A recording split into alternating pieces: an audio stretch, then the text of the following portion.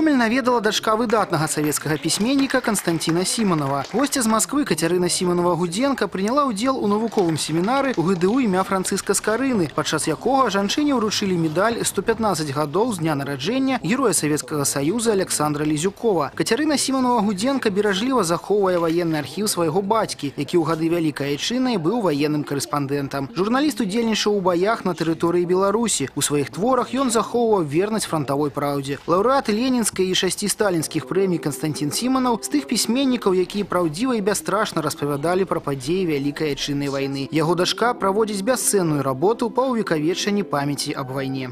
Наша семья тесно связана с Белоруссией. Начиная с моего э, деда, который воевал в начале войны здесь, а потом папа, в смысле Симонов, который э, тоже начинал войну в Белоруссии. Э, он меня звал всегда Катька.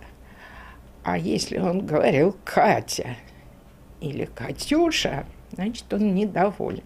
Его прах и мамин прах развеяны на обойническом поле. То есть вот, ну, мне кажется, это уже очень глубокие связи.